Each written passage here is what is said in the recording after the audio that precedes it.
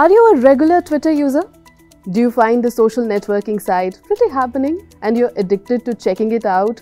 Latest tweets and replies is what you always look for? Well, here is a bad news for you. Twitter's new boss, Elon Musk, is likely to charge everyone for assessing the service. Yes, not only blue tick holders, but all the Twitter users are likely to be charged.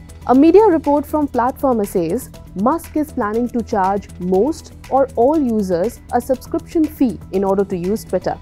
As per the report, the people will also have to pay for Twitter Blue subscription, that is for the blue tick, and other features as well.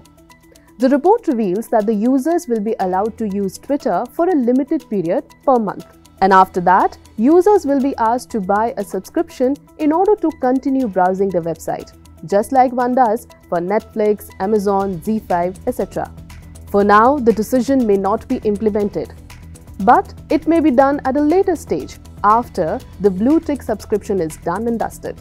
Musk recently launched a Twitter Blue subscription for $8 in some countries. On the other hand, decision may be implemented in India within a month. Elon rightly said, Twitter is the best and also the best.